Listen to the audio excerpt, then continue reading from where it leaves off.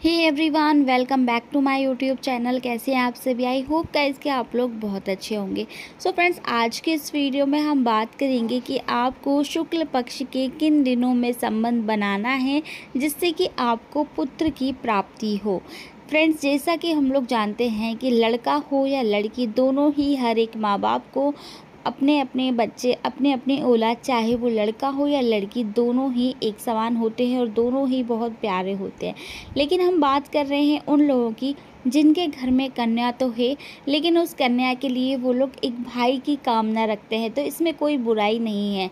अगर आप भी चाहते हैं कि आपको बेटा हो, पुत्र की प्राप्ति हो तो आप इन दिनों में संबंध बनाकर आप मनचाही संतान की प्राप्ति कर सकते हैं। फ़िलहाल मैं इस वीडियो में सिर्फ़ आपको यही बताने वाली हूँ कि आप बेटा की कामना करते हैं तो आप कैसे पुत्र रत्न की प्राप्ति कर सकते हैं।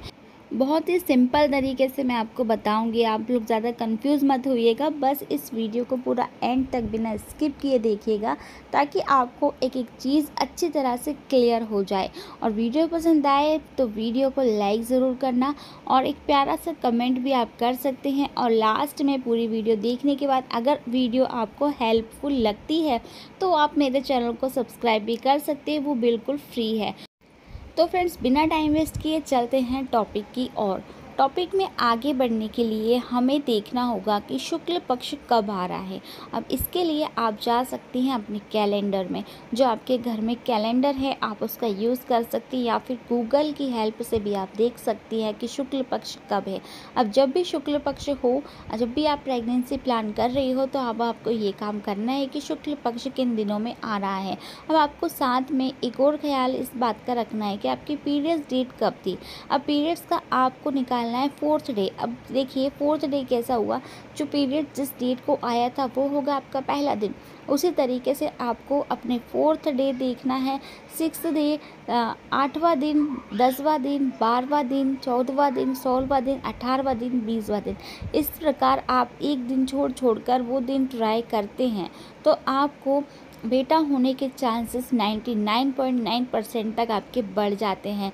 देखिए आपको एक और चीज़ का ख्याल रखना है कि आपको उसी दिन ट्राई करना है जिस दिन मैंने आपको बताया है। वो दिन होना चाहिए शुक्ल पक्ष के और साथ में आपको पीरियड्स डेट का चौथा दिन, छठा दिन, आठवां दिन इस तरीके से इवन डेज़ में ही आपको ट्राई करना है। इसके बीच में बिल्कुल भी ट्राई नहीं करना है। इसके अलावा अगर इनमें से जैसे कि पीरियड्स का आपका चौथा, छठा, आठवां, दसवां इस टाइप्स के कोई दिन हो, इसके साथ ही वो शुक्ल पक्ष के दिन हो और अगर इसके साथ ही उस दिन सोमवार, बुधवार या फिर शुक्रवार या फिर रविवार ये दिन पड़ रहे हों, तब तो समझो आपके बहुत ज़्यादा चांसेस बन जाते हैं बेटा होने के। अगर आप इन दिनों में ट्राई करती हैं तो आपके हंड्रेड परसेंट तक के चांस भी बन सकते हैं बेटा होने के।